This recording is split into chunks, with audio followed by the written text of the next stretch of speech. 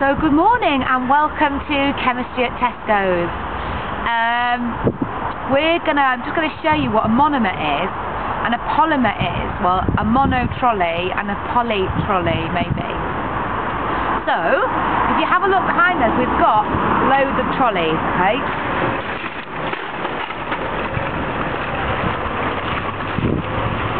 Might consider as a monomer. It's one trolley on its own, a poly, oh no, a mono trolley, okay? Here we are. One trolley.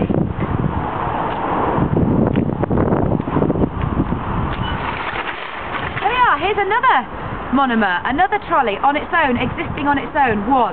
Mono trolley.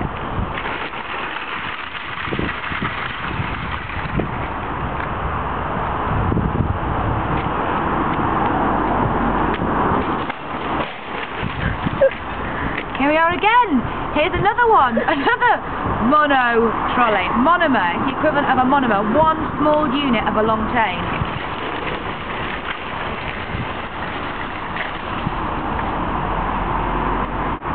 As you can see, we've got three, four, five monomers. All, each one of those operates on its own. It's one single unit, a monomer. Mon for like one, like mono, brow, mon, omer. I'm now gonna go and get our monomers together and see if we can make a polymer. Okay, so.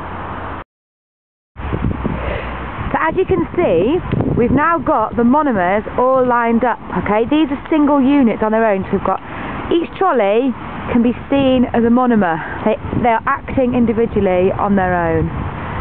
Okay, there we have the monomer. So now let's put the polymer together. Put those units Let's go for some addition polymerization.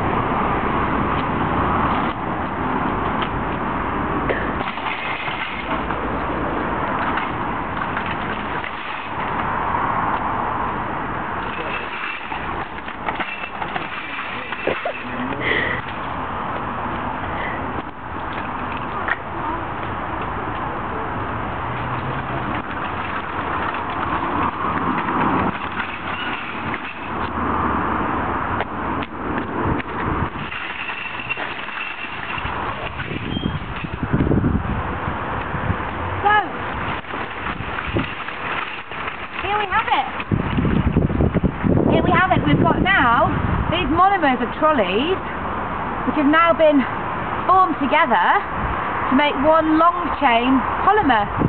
Here we go. So now that polymer now acts on molecules. So here we go. Let's see what happens.